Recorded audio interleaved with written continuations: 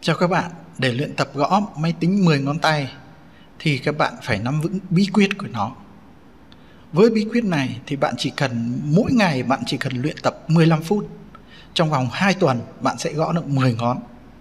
Tuy không thông tuy không cực kỳ thông thạo nhưng bạn hoàn toàn có thể gõ bằng 10 ngón tay của mình một cách chủ động, không còn hiện tượng mổ cỏ. Và kỹ năng này sẽ theo bạn suốt cuộc đời.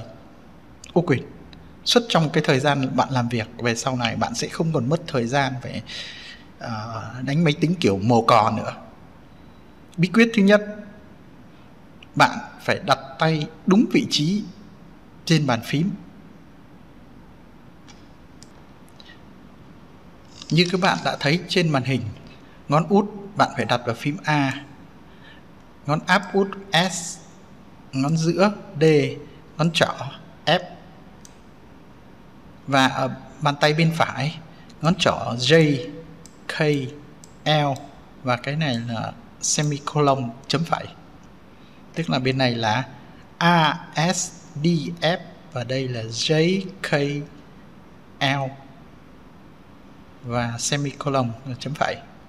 Còn cái phím à, ở đây phím space này phím space này thì bạn sẽ gõ bằng hai ngón cái ngón nào cũng được. Thì đấy là cái bước khởi đầu để chúng ta luyện tập đó là bí quyết một. Cái này thì bạn không cần phải uh, mất thời gian để nhớ. Vì trong chương trình luyện tập máy tính phần mềm luyện tập gõ đánh máy thì nó sẽ có những cái hướng dẫn này cho bạn. Và điều này rất dễ dàng. Chào các bạn bây giờ chúng ta qua bí quyết thứ hai.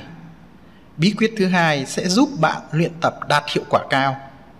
Mà nó quyết định cho việc là bạn có gõ được 10 ngón hay không bí quyết đó là trong khi luyện tập, mắt bạn chỉ được nhìn vào màn hình, không được nhìn xuống bàn tay. Bạn chỉ được phép nghĩ trong đầu, đó là ngón tay của bạn đang đặt trên phím nào và nhấn xuống. Mà tốt nhất để đạt hiệu quả cao, bạn lên lấy một tờ giấy trắng, phủ xuống bàn tay của mình. Phủ phủ bàn tay, phủ lên bàn tay của bạn và bàn phím, và sau đó bạn luyện tập theo hướng dẫn của phần mềm. Mỗi ngày chỉ cần luyện tập 15 phút và trong vòng 2 tuần 2 tuần bạn sẽ gõ được 10 ngón một cách thanh thạo mà không cần nhìn mặt phím. Để download phần mềm luyện tập, tôi đề nghị với các bạn là dùng phần mềm Rapid Typing. Đầu tiên các bạn vào trang web rapidtyping.com các bạn nhấn trên nhãn download thì ở đây nó sẽ hiện ra là setup for Windows hoặc là Mac tùy theo cái uh, version của uh, cái hệ điều hành mà bạn đang dùng. Ở đây tôi dùng là Windows 64 bit thì tôi sẽ download cái X64 nhấn download. Rồi sau khi tôi download xong thì tôi sẽ mở cái Explorer ra và tôi tìm trong cái thư mục download thì đây là cái file của tôi. File mà sau khi là chương trình đã download và tôi sẽ tiến hành cài đặt nó. Double click thôi. Đó. Yes cho nó install. Wow đây là cái chương trình khi ờ, tôi bắt đầu chạy. Thì đầu tiên nó vào cái chương trình này thì nó hướng dẫn bạn là phải đặt ngón tay ở cái phím uh, cơ sở home key như tôi đã nói ở bên ngoài. Đó là left finger. Nó hướng dẫn left finger ngón trỏ màu xanh xanh ở đây đặt ở phím F. Phím F và bạn nhấn xuống phím F. Này là phím F. Này. Đặt phím F. Và put your finger in the bay position. F, giấy, tức là ngón trỏ này, bên này là F, bên này là giấy. Rồi, left, F, bên này là F. Đấy. rồi, gõ space bar bằng left thumb, tức là ngón cái ở đây rồi, bên này ta gõ giấy. Và các bạn cứ thế luyện tập thôi. Space bar left thumb nhóm D, bạn thấy cái à, ngón ngón ngón màu xanh không? Màu xanh này thì cái ô nó ở chữ D này, có nghĩa là gõ. Gõ cái ngón giữa xuống chữ D. Bạn không được nhìn xuống bàn tay nha. Bạn chỉ được nhìn đến màn hình chỗ này thôi. Nhìn chữ D này thôi. Không được nhìn bàn tay của bạn. Bạn được nhìn toàn bộ trên cái màn hình này. Không, nhưng mà cái tay mà ở ngoài thật đang đặt trên bàn phím là không được để lên. Đi rồi, gõ space nó bằng hai ngón cái. Bạn gõ trái hay gõ phải cũng được. Bây giờ đến lượt là chỗ này là right middle finger. Gõ phím K. Đây right middle, bạn có quyền được nhìn cái này, nhưng mà không được nhìn cái tay ở ngoài thật đó. cái tay ở ngoài bạn đang để trên bàn phím, chỉ nghĩ trong đầu là bây giờ là ngón giữa phải và bạn nhấn xuống K. Rồi, gõ space F, rồi space Z dây đây là gõ sai nó lên màu đỏ. Gõ đúng space rồi ngón giữa. Nhìn thấy không? Nó là màu xanh đó. D này màu xanh này. Đó D màu xanh. Giờ left thumb. Đây cái này màu xanh này ta gõ đây. Ta nhìn cái này mục kha là ngón giữa. Chỉ nghĩ trong đầu thôi. Đó, gõ sai kha đó. Và các bạn cứ thế các bạn luyện tập thôi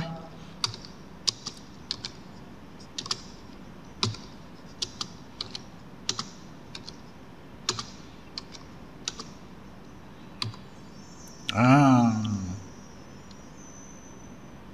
đến đây thì nó lên cái tổng hợp cho các bạn. Thì à, nó hỏi là các bạn có luyện tập lần nữa không? Hay là các bạn uh, chuyển qua bài mới? Nếu luyện tập lần nữa thì tôi để try again. Còn còn tôi muốn đi bài nữa thì tôi go to the next lesson.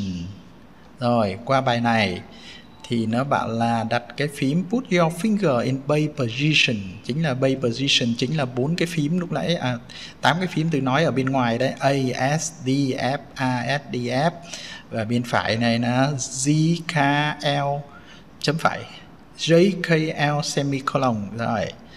Ấy S, rồi. Bây giờ đến phím S. Này S, màu xanh. Nhấn phím S xuống. Màu xanh. Nghĩ trong đầu nhấn phím này. Rồi, right finger, tôi nhìn đây thấy màu xanh. Tôi gõ phím L. Rồi, space. A, space. Chấm phẩy.